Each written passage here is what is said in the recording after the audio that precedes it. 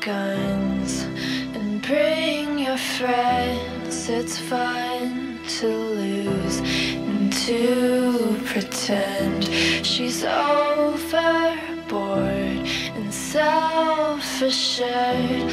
I know.